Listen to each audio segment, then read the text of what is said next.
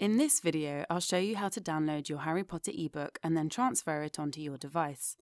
This demonstration is on a computer, but the download process is the same if you access the Pottermore shop on your smartphone or tablet. We start off on the Pottermore shop homepage and navigate to a product page where you can buy your Harry Potter ebook for yourself or as a gift. Here you can also download a sample of this ebook to make sure that it works on your computer and device. Now I'll move to the My Books page. This is where you'll find your ebooks once you've purchased them and is the first step towards reading them.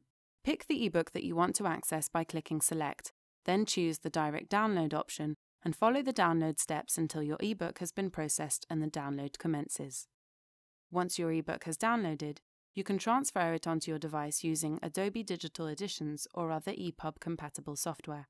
Adobe Digital Editions is free to download from the Adobe website www.adobe.com.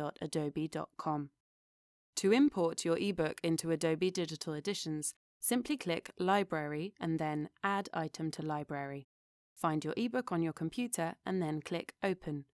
Once your ebook has been imported into Adobe Digital Editions, you can easily transfer it onto your device. If you wish to transfer your ebook onto an Apple device, you can simply import it into iTunes by clicking on the file and dragging it into the Books section of iTunes.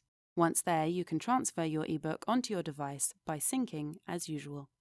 If you have any further questions about how to access your purchase on your device, then the chances are they're covered in the Help section of the Pottermore shop where you'll find a comprehensive collection of frequently asked questions designed to make your experience easier and more pleasurable. I hope you found this video useful and thanks for your interest in the Pottermore shop, the only place where you can buy the official ebook and digital audiobook versions of the Harry Potter novels.